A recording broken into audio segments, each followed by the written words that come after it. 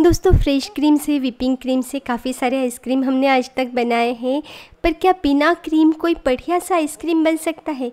Hello दोस्तों, काफ़ी सारे रिक्वेस्ट पर आज हम बना रहे हैं बिना क्रीम का बहुत ही क्रीमी क्रीमी आइसक्रीम इस आइसक्रीम से चोको बार बनाने का और हाँ बिना मोल्ड के भी इन्हें बनाने का बड़ा आसान तरीका बताऊँगी मैं आपको। बस वीडियो शुरू करने से पहले एक रिक्वेस्ट है, अगर आपने अभी तक हमारे चैनल को सब्सक्राइब नहीं किया है तो जल्दी से कर देना, ताकि मेरा कोई भी नया वीडियो आप मिस ना करो। तो चलिए चोकोबार बनाने के लिए ना, सबसे पहले मैंने ये आधा लीटर फुल क्रीम दूध लिया है। आधा लीटर मतलब दो कप दूध है ये। इसमें से बिल्कुल थोड़ा सा दूध एक कटोरी में निकाल लेना और इस दूध में डालने के लिए अब मैंने ली है मिल्क पाउडर। पाव कप से थोड़ी सी ज़्यादा ही मिल्क पाउडर ली है मैंने। पाव कप और एक चम्मच एक्स्ट्रा है ये। ये घर की थोड़ी सी मलाई थी तो वो भी मैंने इसमें डाल दी है। अच्छे से मिला देना इन्हें। मिल्क पाउडर और घर की मलाई आइसक्रीम को क्रीमी टेक्सचर देने में यूज़फुल रहेगी। तो गैस पर रखकर एक मिनट इसे पहले बढ़िया से विस्क करना। जब मिल्क पाउडर एकदम अच्छे से इसमें मिक्स हो जाए ना, तब ये देखिए। फिर से मैंने ये पाव कप का मेजर लिया है। इससे हम चीनी लेंगे। चीनी को भी बढ़िया से मिक्स करेंगे। गरम दूध है, चीनी को घुलने में ज़्यादा समय नहीं लगेगा। तो ये देखिए दो तीन मिनट में चीनी भी घुल गई है और दूध भी उबलने लगा है। पर हम ना इसे और एक दो मिनट ऐसे ही उबलने देंगे ताकि ये थोड़ा सा और गाढ़ा हो जाए। और अब ये देखिए दो तीन मिनट उबलने के बाद कुछ ऐसे लग रहा है ये। तो ये जो दूध हमने साइड में निकाल कर रखा है ना, इसमें हम थोड़ा सा कॉर्नफ्लोर डालकर मिलाएँगे। और कॉर्नफ्लोर के इस घोल को भी दूध के इस मिश्रण में डालकर अब कम से कम दो से तीन मिनट लो मीडियम फ्लेम पर लगातार चलाते हुए हम इसे कुक करेंगे, ठीक है? कॉर्नफ्लोर को मिलाने के लिए तो विस्क का ही इस्तेमाल करना दोस्तों, ताकि बिल्कुल भी लम्ब ना पड़े इसमें। दो तीन मिनट इसे पकाने के बाद ये देखिए, कुछ ऐसा लग रहा है ये। एकदम क्रीमी क्रीमी और गाढ़ा लग रहा है ना? तो फ्लेम को बंद कर देना। इससे गाढ़ा इसे ना करना, क्योंकि ठंडा होने के बाद ना ये और गाढ़ा हो जाएगा। पूरी तरीके से नॉर्मल टेम्परेचर पर आने के बाद ना मैंने इसे दो पार्ट्स में डिवाइड किया है। एक में थोड़ा सा कम और दूसरे में थोड़ा सा ज़्यादा मिश्रण रखा है मैंने। दोनों में ही सबसे पहले तो हम क्या करेंगे? थोड़ा थोड़ा सा वनीला इसेंस डाल देंगे। और गाढ़े हुए इस मिश्रण के साथ इसेंस को पहले तो एकदम बढ़िया से मिला देंगे हम। फिर दो मिनट ना हम इसे विस्क भी करेंगे, ताकि ये बैटर एकदम हल्का हो जाए। तो देखिए दोस्तों, बिना क्रीम ही सिंपली दूध से वनीला आइसक्रीम का बैटर बनकर रेडी है। थोड़ी सी ज़्यादा मिल्क पाउडर यूज़ करने से और घर की मलाई यूज़ करने से बिना क्रीम के भी बहुत ही बढ़िया आइसक्रीम बनता है दोस्तों। इसे आप ऐसे ही किसी डिब्बे में डालकर सेट करके स्कूप से सर्व कर सकते हो, पर आज हम ना इसे चोकोबार ही बनाएँगे। अब इस दूसरे पाउल के मिश्रण को भी बढ़िया से मिक्स करेंगे हम, और इसमें एक चम्मच में कोको पाउडर डाल दूँगी। कोको पाउडर के बदले आप चाहो तो थोड़ा सा चॉकलेट सिरप है आपके पास तो वो डाल सकते हो, नहीं तो कोई भी चॉकलेट मेल्ट करके भी आप इसमें डाल सकते हो। ठीक है? अब बहुत ही बढ़िया से इसे भी हम विस्क करेंगे और बिना क्रीम का एकदम क्रीमी क्रीमी चॉकलेट आइसक्रीम वो भी फटाफट से बनकर रेडी है। दोस्तों, आपको पता है ना आइसक्रीम बनाने के लिए अलग अलग तरीके के मोल्ड्स मिलते हैं मार्केट में। मैंने यहाँ पर ये सिलिकॉन मोल्ड यूज़ किया है आज। मल्टीपर्पज़ है ये। इसमें केक्सिकल्स भी बहुत ही अच्छे से बनते हैं। केक्सिकल की रेसिपी मैंने आपके साथ पहले शेयर की थी। अगर आपने अभी तक नहीं देखी है तो कमेंट्स की लिंक ज़रूर चेक करना। ठीक है? और अब ये देखिए, तीन में से दो में मैंने ये वनीला आइसक्रीम का मिश्रण डाला है, एक में मैं चॉकलेट आइसक्रीम का मिश्रण डाल दूँगी। अब इसमें इस तरीके से आइसक्रीम की स्टिक भी लगाएँगे हम।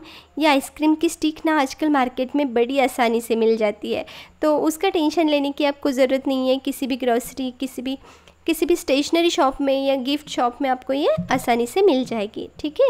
एकदम स्ट्रेट लगाना स्टिक को और अब एक प्लेट में इसे रखकर इस मोल्ड को ना ऐसे क्लिंग फ़िल्म से कवर करके फ्रीज़र में रखेंगे हम, ताकि इस पर आइस क्रिस्टल्स ना जमे। इसे कम से कम छः से सात घंटे या ओवरनाइट फ्रीज़र में रखना होगा। तो चलिए, अब ना मैं आपको बिना मोल्ड के चोकोबार बनाना बताती हूँ। उसके लिए ये देखिए, इस तरीके के जो पेपर कप्स मिलते हैं ना मार्केट में, इसमें से चार कप निकाल लिए हैं मैंने। एकदम बड़े भी नहीं है, एकदम छोटे भी नहीं है, मीडियम साइज़ के लिए है कप मैंने। अब इनमें आइसक्रीम का मिश्रण भरने से पहले, मैंने यहाँ पर लिया है ये लगभग 70 ग्राम मिल्क कंपाउंड चॉकलेट। और थोड़ा सा मैंने यहाँ पर ये डार्क कंपाउंड चॉकलेट भी लिया है। गर्मी है तो चॉकलेट थोड़ा सा मेल्ट हो ही जाता है, डोंट वरी।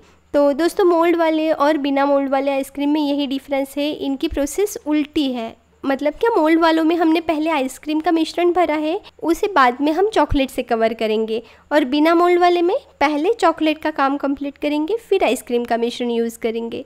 चॉकलेट को मेल्ट करने के लिए आज मैंने ऐसे गर्म पानी के डिब्बे में ही बाउल को रख दिया डबल बॉयलर इस्तेमाल करने की आज ज़रूरत नहीं पड़ी, क्योंकि आज ऑलरेडी चॉकलेट काफ़ी सॉफ्ट है। तो ये देखिए बस दो मिनट में बढ़िया से चॉकलेट मेल्ट भी हुआ है। अब एक पेपर कप में एक से डेढ़ चम्मच मेल्टेड चॉकलेट डालकर इसे ना हम इस तरीके से घुमाते हुए फैलाते जाएँगे। फिर इसे ऐसे उल्टा पकड़कर एक्स्ट्रा का चॉकलेट आप ऐसे बाउल में ही गिरा सकते हो। ये देखिए, ऐसे ही और तीन कप हम चॉकलेट कोटिंग करके रेडी करेंगे और एकदम अच्छे से सेट होने के बाद आप इस पर इस तरीके से और एक बार चॉकलेट की कोटिंग दे सकते हो, जिससे इसका कवर एकदम अच्छा हार्ड बने। ठीक है? तो चलिए, पहले इन्हें पाँच दस मिनट फ्रीज में सेट होने देंगे। सेट होने के बाद दूसरा भी कोटिंग मैंने इस पर चढ़ाया है। और जब दूसरा कोटिंग भी अच्छे से ड्राई हो जाए ना, तब हम इसमें आइसक्रीम का मिश्रण डाल देंगे। दो में वनीला का डालेंगे, दो में चॉकलेट का डाल देंगे और फटाफट से बहुत ही बढ़िया से आइसक्रीम बनाएँगे, ठीक है? तो दोस्तों, आप इन्हें मोल्ड में बनाओ, बिना मोल्ड बनाओ, जैसे भी बनाओ, पर रेसिपी ज़रूर ट्राई करो। अब इनको भी फ्रीज़र में रखने से पहले क्लिंग फ़िल्म से कवर करेंगे। और अगर ये नहीं है ना आपके पास तो भी कोई बात नहीं, आप बटर पेपर पार्चमेंट पेपर या एल्यूमिनियम फॉइल का भी यहाँ पर इस्तेमाल कर सकते हो। जो चीज़ है आपके पास, उससे कवर करना। अगर इनमें से कोई चीज़ नहीं है ना तो सिंपली कोई प्लास्टिक के बैग होती है ना, उसका एक टुकड़ा लेकर उससे आप कवर कर सकते हो। हाँ पर कवर ज़रूर करना, ताकि इस पर आइस क्रिस्टल्स ना जमे। और अब नाइफ से इसे पहले थोड़ा सा कट लगाएँगे हम और फिर इसमें आइसक्रीम की स्टिक लगा देना। इस तरीके से रेडी करके इन सबको मैंने ओवरनाइट फ्रिज में रखा था। तो चलिए अब आपको इसे डिमोल्ड भी करके दिखाती हूँ मैं। ये देखिए, बस ऊपर का पेपर आपने हटाना है, फिर कप से तो ये अपने आप निकल आएँगे। कुछ भी नहीं करना है, बहुत आसानी से निकल आते हैं ये। ये देखिए, ये दो चॉकलेट आइसक्रीम वाले, ये वनीला आइसक्रीम वाला इसमें थोड़ा सा आइसक्रीम मेरा कम पड़ गया, कोई बात नहीं। ऊपर का चॉकलेट का कवर देखना आप कितना परफेक्ट है। इतने इजीली कोई चोकोबार बन सकता है क्या? बनाने में आसान है सर्विंग के लिए अच्छे है। कम आइसक्रीम में ऐसे छोटे छोटे काफ़ी सारे चोकोबार आप बना सकते हो इजीली कप की साइज़ इससे भी छोटी हो तो भी क्यूट लगेगा ये। तो इसे ज़रूर ट्राई करना दोस्तों। और अब अपने मोल्ड वाले आइसक्रीम के लिए ना हम थोड़ा सा मिल्क कंपाउंड और थोड़ा सा डार्क कंपाउंड का मिश्रण यूज़ करेंगे। मैंने इनका प्रपोर्शन सेवेंटी थर्टी ऐसे रखा है और इसको भी आज मैंने ना बिना डबल बॉयलर बस गर्म पानी में ऐसे रख कर ही मेल्ट किया है। इसे मेल्ट करते करते मैंने इसमें दो छोटे चम्मच रिफाइंड ऑयल भी डाला है। पहले जब मैंने चॉकलेट को मेल्ट किया था ना, तब भी मैंने उसमें थोड़ा सा रिफाइंड ऑयल डाला था। मैं बताना भूल गई आपको। तो बढ़िया से चॉकलेट को मेल्ट करने के बाद इसको मैंने एक ग्लास में निकाल कर रखा है।